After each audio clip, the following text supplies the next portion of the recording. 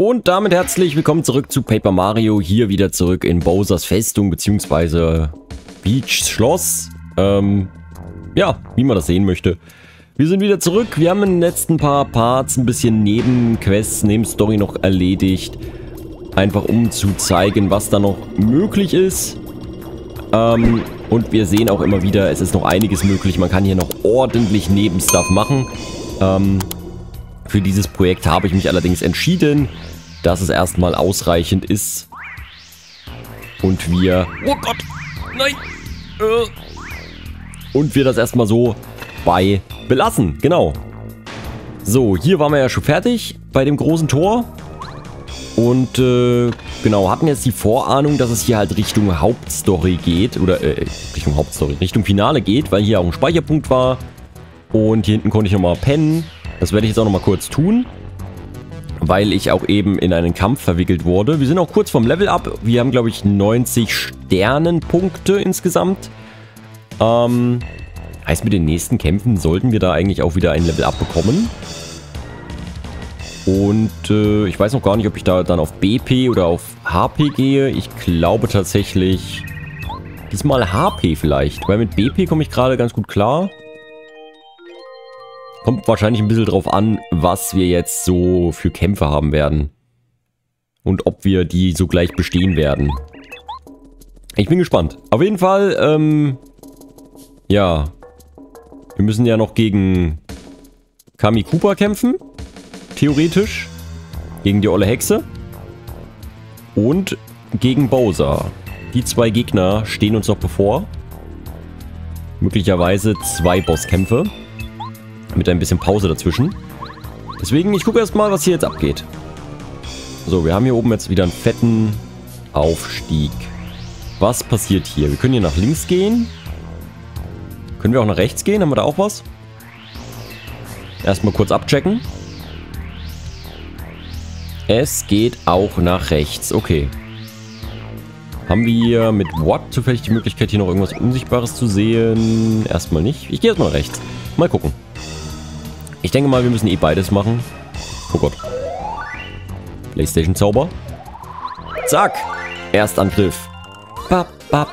Okay, wir haben hier auf jeden Fall... Jetzt können wir auch endlich mal scannen, ne? Das müsste jetzt möglich sein. Mitglied wechseln und einmal bitte Gumbario. Wir kennen die tatsächlich alle noch nicht. Deswegen, ich würde einmal den Käfer scannen. Das ist ein Knochenkäfer. Es sind knochige Verwandte der Käfer. Daher der Name. KP 8, Angriffskraft 3, Verteidigung 4. Es ist schwer, sie zu verletzen. Wenn sie ihre Stacheln ausfahren, steigt ihre Angriffskraft auf 5. Wenn sie wieder einziehen, greifen die Gelegenheit, um sie umzukippen. Danach sind sie sehr leicht zu schlagen. Okay. So, da haben wir den ersten schon mal geskippt oder ge gescannt. Jetzt gibt es erstmal einen schönen Hammer Time. Bam. So. Der greift an, oder? Oder was macht der? Uh, der bufft den. Verteidigung erhöht sich auf 1. Okay, von mir aus. So, und dann, ich scanne gleich nochmal und nehme hier nochmal Kamek. Das ist ein Kamek. Kamek sind die Elite-Magier der Koopa, des Koopa-Clans. 11 KP, Angriffskraft 6, Verteidigung 0. Vorsicht, Mario, ihre magischen Angriffe sind nicht zu unterschätzen. Sie kennen viele fiese Zauber. Wir sollten sie schnell besiegen, bevor sie irgendetwas Verrücktes anstellen. Oh ja. Ich meine, so drastisch ist das jetzt auch nicht. Ich meine, wenn ich den jetzt hier weghau, dann flieht ja der andere. Ich werde das aber trotzdem so machen. So, drei Schaden, der ist tot. Und du haust jetzt ab, ne? Ja, ja. Kleiner Schisser. Alleine gar nichts. So, 95 haben wir jetzt. Bald Level up. Ach shit, das war dumm. Das war richtig dumm. Okay, die kennen wir auch alle. Ich würde hier mal fliehen, glaube ich. Ich hoffe, das geht einfach so. Jo. Und schnell weg hier. Oh Gott, da ist ja der nächste Kamek schon. Okay, gucken wir mal, was hier passiert. Let's go. Mm, mm, mm, okay, da oben ist blauer Schalter.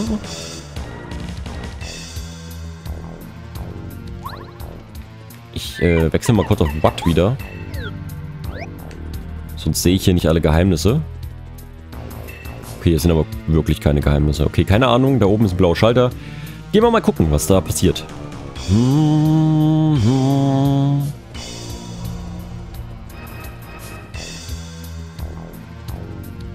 Okay. Da ist eine Schlüsseltür. Ich gehe mal kurz hier hoch. Was passiert... Okay. Was passiert denn hier oben? Was können wir tun? Eine Kette?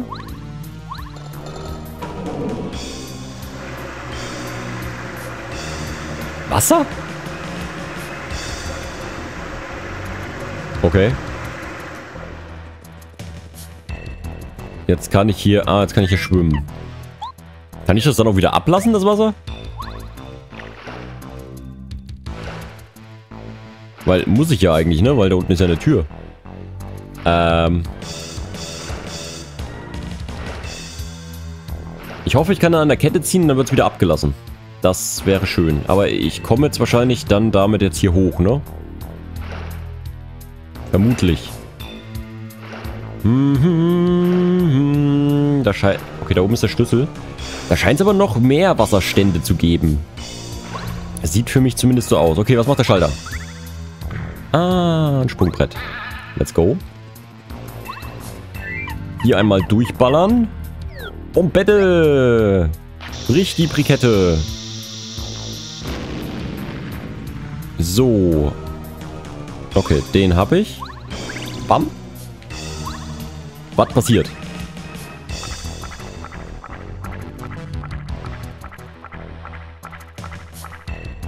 Okay, da drüben geht der Wasserstand noch eins höher.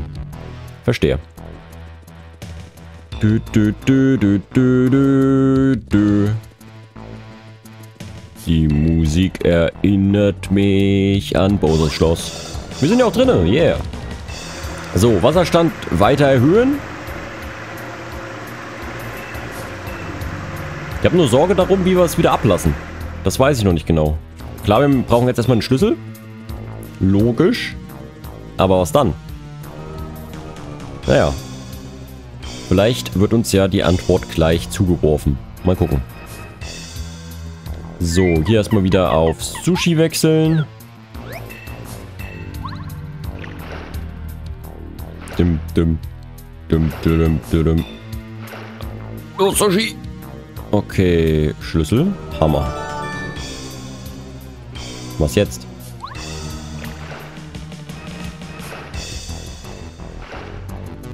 Wie... Ja, ich, ich habe ja nur die Möglichkeit, hier lang zu gehen. Kann ich den... Kann ich den Wasserstand jetzt wieder rückwirkend ändern? Geht das jetzt so einfach? Jetzt wieder an der Kette ziehe?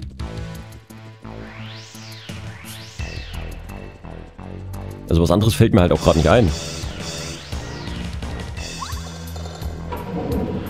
Ja, tatsächlich. Wie so eine Toilette. Einfach Wasser ablassen. Alles klar.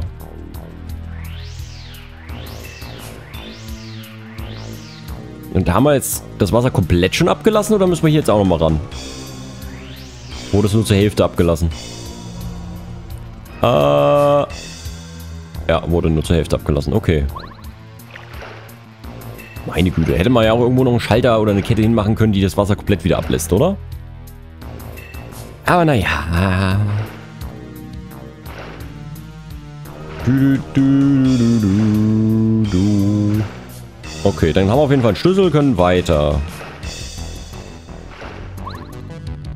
Was auf der linken Seite dann durch das Tor ähnlich ist. Das müssen wir dann noch sehen. So, warte mal. Erstmal einen Schluck Kaffee trinken. Für Energie. So, okay. Dann ab durchs Türchen. Was passiert hier? Gott. Äh, what? Okay. Äh, ich werde mal Bu nehmen. Und mich unsichtbar machen.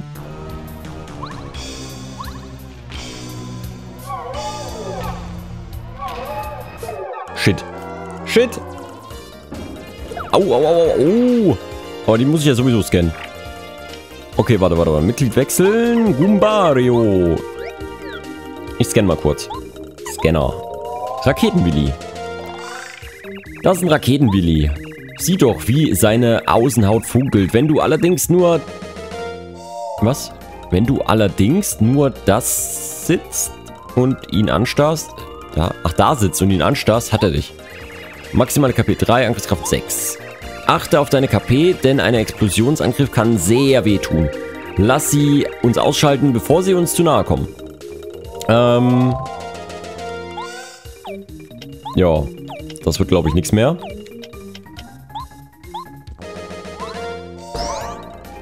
Zum Glück bin ich bei Level Up. Aber die geben auch Erfahrungspunkte, wenn sie sterben. Das ist nicht schlecht, denn jetzt sind wir Level Up und investieren in KP, würde ich sagen. So, und jetzt schön die Kanonen wegballern. Okay, wir machen nochmal einen Scanner. Wie die Kanone. Äh, das ist eine Willi-Kanone. Sie feuern einen nicht enden wollenden Strom von Raketenwillis ab. 10 KP, Verteidigung 4. Sie greifen dich nicht direkt an. Außerdem sind sie sehr stabil. Du musst sie ständig angreifen, sonst ist die Luft bald von Raketenwillis erfüllt. Glaub mir, das willst du nicht. Glaube ich dir. Okay, die haben echt hohe Verteidigung, deswegen ich würde schon mit dem Superbeben angreifen. Glaube ich.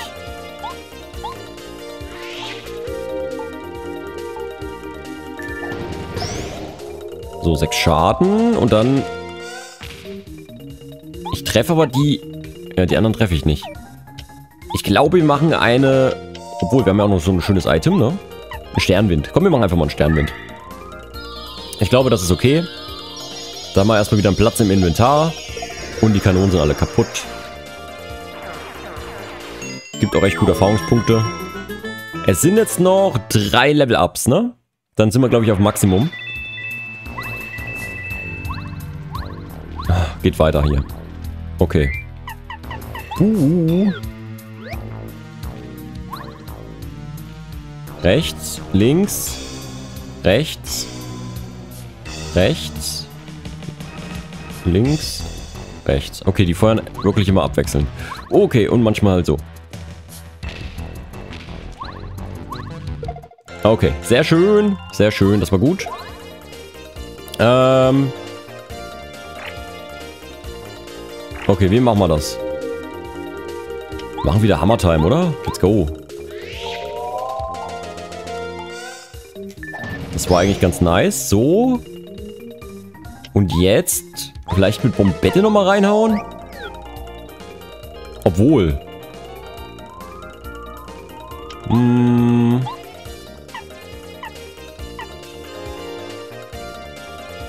Wir könnten auch einfach warten und wir lassen nochmal ein paar welche wir lassen noch welche entstehen.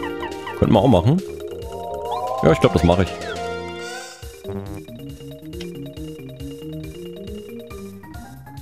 Weil da kriegen wir mehr Erfahrungspunkte. Nichts tun. Zack. So. Da kann man ja eigentlich voll gut farben, oder? Jetzt mal, ehrlich gesagt, wenn ich jetzt hier einfach drauf hüpfe. Guck mal, ich krieg zwei Erfahrungspunkte, oder? Okay, nur noch einen, schade. Aber ist ein Erfahrungspunkt. Und die machen jetzt... Ach nee, ich bin einfach wieder dran. Nur dran. Auf Wiedersehen. Tschüss. Und die geben zwei, ne? Ne, die geben sogar... Die geben sogar drei noch. Cool. Okay, das waren die. BP gibt es auch noch ein bisschen zurück. Und es geht hier aber direkt wieder weiter. Hä? Hä? Warum kam da oben gerade was angeflogen? Okay. Nein, ich brauche keine doppelte Angriffskraft. Nein. Bam, 8 Schaden, Alter. 16 auf einen Kugelwilli. Der arme Kugelwilli. Zack. Zack. Okay. Da haben wir nochmal drei Erfahrungspunkte bekommen. Und weiter geht's. Bam. Ruf auf die Kanone. Okay, da haben wir noch einen Gegner. Ist ja nicht weiter schlimm. Wir machen hier gleich mal unseren Power Punch. So, und... Ja, ich, ich baller den da hinten gleich nochmal weg. Tschüss. So, das sind die ersten zwei Erfahrungspunkte. Dann, ja, wir sparen mal ein bisschen, oder? So. Ich weiß ja nicht, wie weitläufig das Ganze hier noch ist. Deswegen, wir sparen einfach mal ein bisschen BP-Punkte. Und jetzt hauen wir hier mal fett mit dem Hammer drauf. Vier Erfahrung, äh, vier Damage. Sehr schön. Der macht jetzt keinen Schaden, ne? Aber wenigstens macht er zweimal keinen Schaden. okay. Jetzt hier mit dem Kopf einmal drauf. Zack. Tschüssi. Also die sind eigentlich ganz, ganz cool, die Kanonen. So. Und nochmal drei. Also wir kriegen ja richtig Erfahrungspunkte, ne? Geil. Okay, hier oben geht es dann gleich weiter.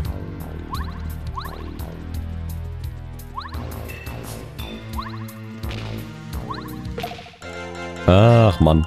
Kurz vorm Ziel. So, zack. Baba. Und zack.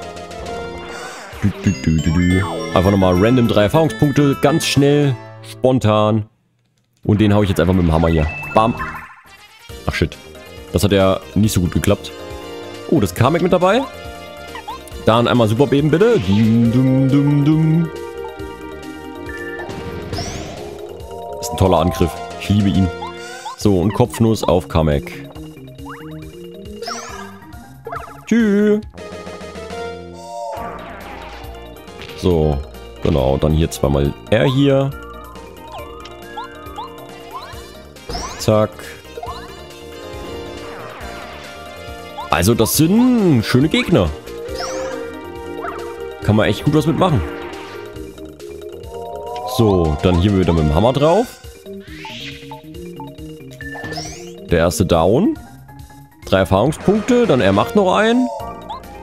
Ja, den kann ich jetzt eigentlich aussetzen lassen, nichts tun. So, dann er macht einen Kopfnuss auf den Willi. Bäm. Und dann haben wir schon wieder elf Erfahrungspunkte bekommen. Easy. Und BP gespart. Ja.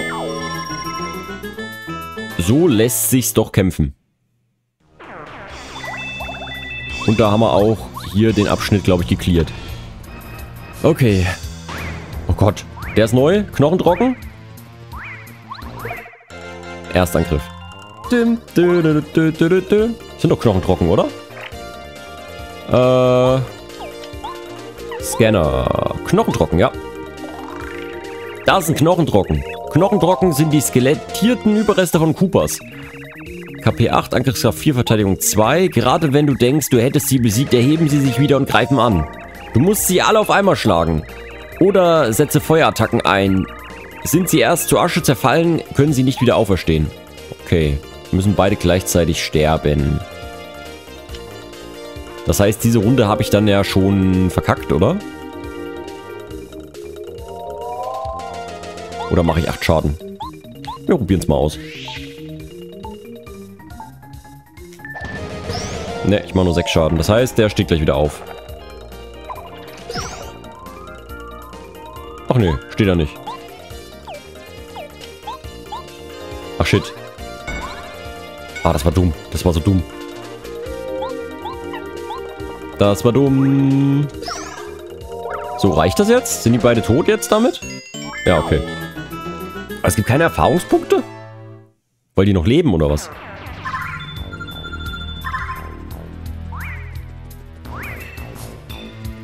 Oder muss ich die halt wirklich zur Asche verbrennen?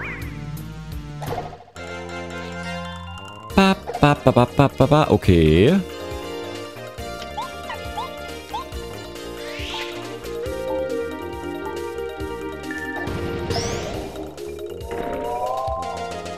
Äh, Mitglied wechseln, Cooper. Nur mal so für mich.